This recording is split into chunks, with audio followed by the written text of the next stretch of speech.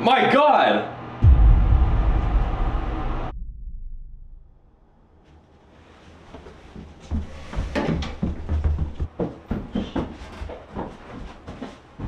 Move aside. I'm a doctor.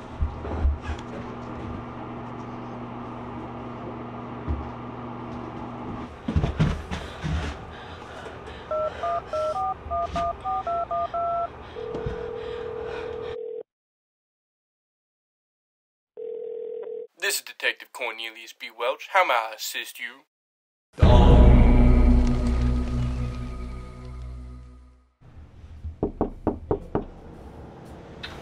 Hello, Mrs. Uh. My name is Kat Winslow.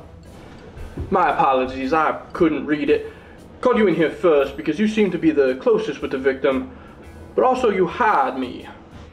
Yes, I'm very concerned about the situation with Carly. I could tell that it wasn't an accident. Do you suspect foul play? Definitely. I think it was that girl, Mary Milwaukee. The way she was all over Carly's body, claiming to be a doctor. Is she not a doctor? She's just a plastic surgeon. If she were as smart as she thinks she is, then why is she tampering with any evidence? And I know that Harry Bush saw them talking at the party earlier. First of all, it's Harold. And yeah, I heard them arguing. Something about promoting her plastic surgery practice.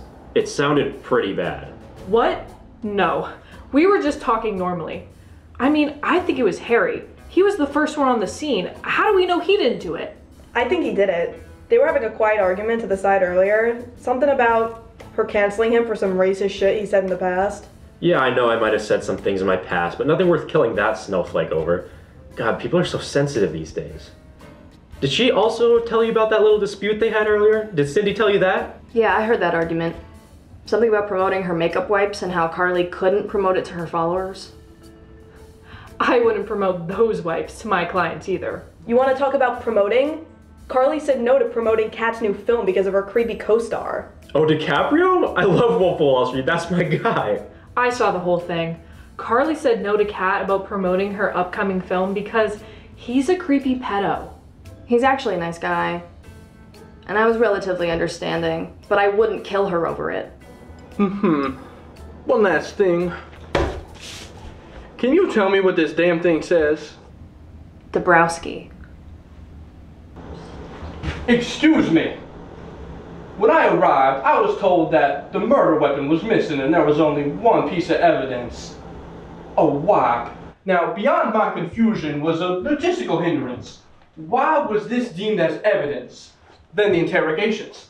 Everybody at the party had a motive for murder, but none of them were substantial. You see, this mystery, it's a, an ice cream sundae. Won't you put your spoon in and scoop out the center? Only one suspect remains at the essence. You see, earlier in the party, Miss Curtis told Mr. Browski that she could not promote her makeup wipes. Not that she wouldn't, but that she couldn't. Now, why is that? Furthermore, Dr. Milwaukee said that she would not promote those wipes to her patients neither. An interesting motive for murder, but not too different from the rest. However, one piece of evidence cracks this case. You see, I have this thing where I cannot read, and I, I knew the wife said something on it, but I couldn't read it. However, when Miss Winslow read it out for me, it was the cherry on top of this sundae. The wife reads Dabrowski. Miss Dabrowski's wife was not just a random piece of evidence, but the murder weapon. Those wipes contain a toxic chemical that can cause a fatal allergic reaction, which is why Dr. Milwaukee would not recommend this for her patients. Upon hearing that Miss Curtis was allergic to the wipes, she discovered her motive for murder. Isn't that right, Miss Dabrowski?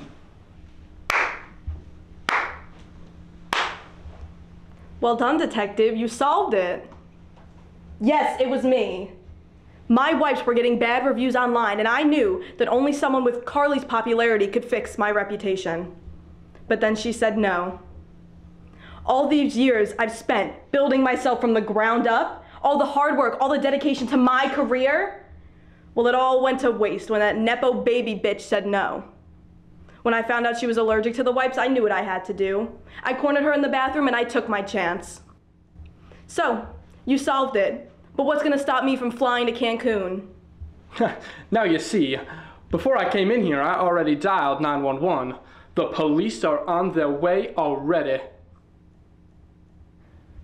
That's 611.